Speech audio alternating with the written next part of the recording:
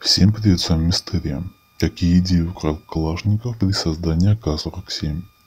На окончательном этапе конкурсного отбора модели автомата для действующей армии были представлены три совершенно самостоятельных образца автоматического стрелкового оружия. Автомата Калашникова АК-46, Булкина ТК Б-415 и Дементьева КБ-2.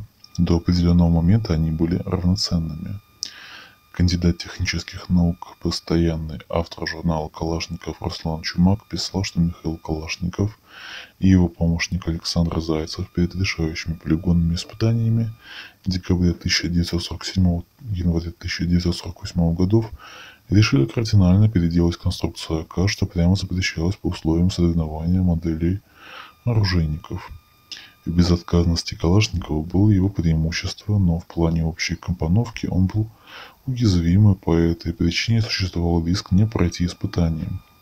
Впрочем, автомат могли снять испытания, если бы узнали, что он радикально переделан. Такие модернизации уже были, и они негативно сказались на боевых качествах образцов автоматического оружия.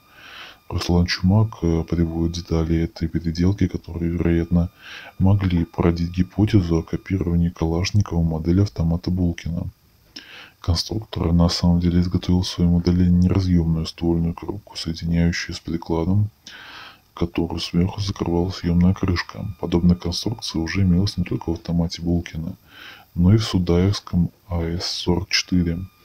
В этих же автоматах затворная рама объединялась с газовым поршнем. Эту особенность конструкции также добавил в свою модель Калашников. В итоге, после переделки автомат Калашникова получил новое название – АК-47. Чумак считает, что ничего эксклюзивного, разработанного одним только Булкиным, Калашников для доделки своего АК не позаимствовал тогда как механизм запирания ТКБ-415, взятый за образец у пулемета Льюис, оставался гораздо менее функциональным, чем у АК, и это обстоятельство во многом, если не главным, решило участь автомата Булкина. Так считал советский инженер-испытатель, автор книги «Отечественный автомат» Александр Малимон.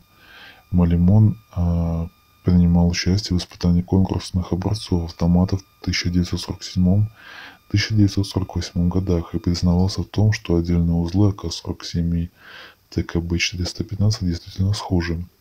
Однако инженер подтверждает, что ничего зазорного в этих заимствованиях не видели, если они шли на пользу дела, то есть улучшали качество нового стрелкового оружия. Более того, по словам Малимона, подобная практика поощрялась военным руководством министерским начальством Советского Союза.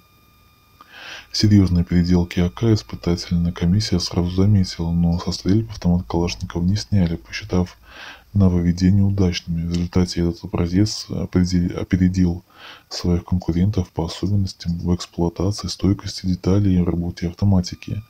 В комплексе все эти характеристики обеспечили ему зеленый свет для дальнейших уже войсковых испытаний, которые АК-47 также успешно выдержал.